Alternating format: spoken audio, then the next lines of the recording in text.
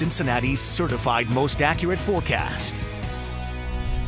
Well, that storm system that's been out to our west for the past day or so now making steady progress through the Tennessee River Valley and up the Ohio River in our direction here this evening. You can see over my shoulder the gloomy skies from high atop Carew Tower, and you can see those clouds beginning to lower with that area of rain off in the distance there. Temperatures will hold steady, though close to 50, so all things considered, at least it's going to be a mild January wet night across the area.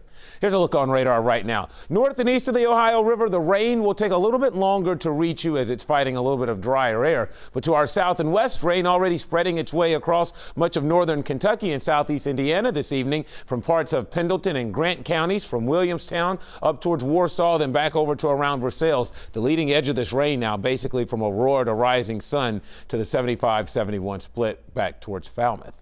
All right, we're 49 right now currently at the airport, and there's milder air residing to the south of the Ohio River. And over the upcoming weekend, not just tonight, but really through Sunday, we are going to see a nice push of southerly air. So that means our temperatures are going to stay unseasonably warm through at least early next week.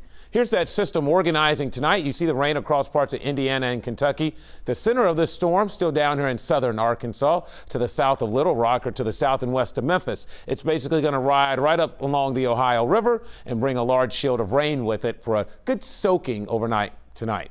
Here's a look at Futurecast. You can see by 9 o'clock, rain really overspreading all of the metro. Again, the farther north and east you are, it may be a little later into your dinner time hours. But overall, it's going to become a wet night across the area. Some of the rain could briefly come down heavy at times, especially right before the sun comes up tomorrow morning. I expect the rain to be wrapping up during the morning commute, so it will be a wet go Friday to start. You'll need to send the kids to the bus stop with the umbrella. You'll probably even need a little extra time for tomorrow morning's commute. But drier weather will work in during the late morning and early afternoon. And while there still could be a brief passing sprinkle or shower throughout the day, the bulk of the rain tomorrow, the wettest time will be the first half of the day. The second half of the day into your Friday evening looks dry, albeit gloomy. But get this, temperatures will be in the 50s. And a matter of fact, as we head into the weekend, highs will stay in the 60s with nighttime temperatures in the 50s. So very, very mild both by day and night. All right, we're expecting anywhere from about uh, a half an inch to three quarters of an inch of rainfall, a little bit less than what the model was looking at yesterday, but still a decent soaking.